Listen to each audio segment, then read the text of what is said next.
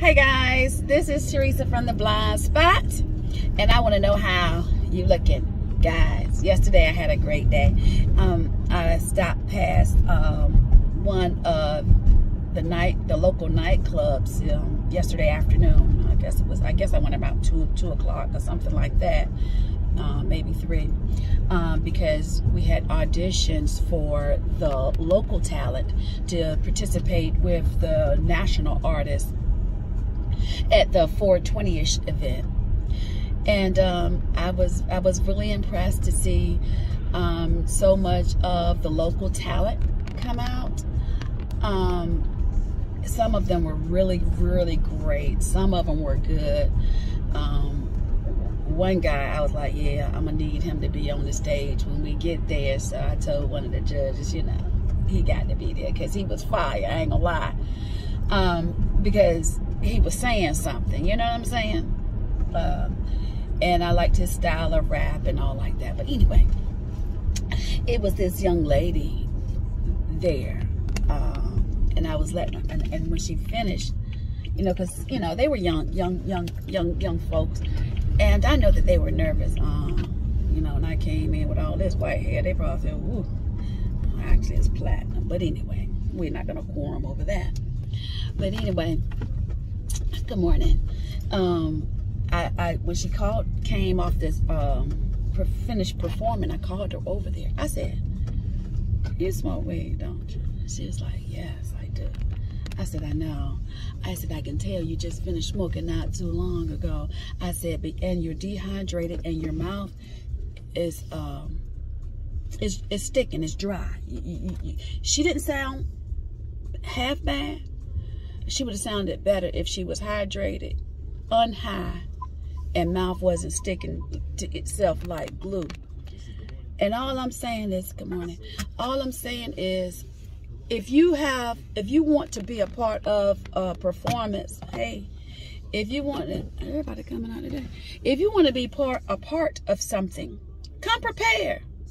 You can't go somewhere high or drunk or dehydrated or hungry you know, or in a state that's going to throw you off your center.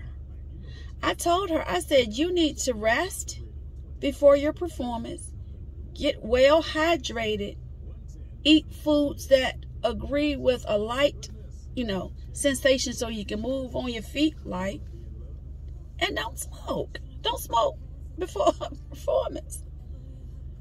So her heart was beating through her neck. I could see it.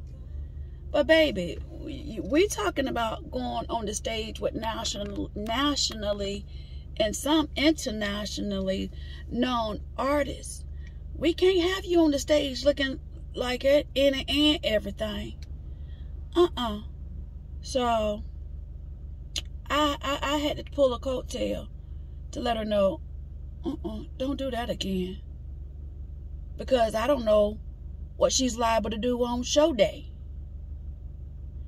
because in rehearsal, well, I wouldn't say rehearsal, but when it's showtime, when it's time for you to audition, your audition supposed to be actually better than your actual performance.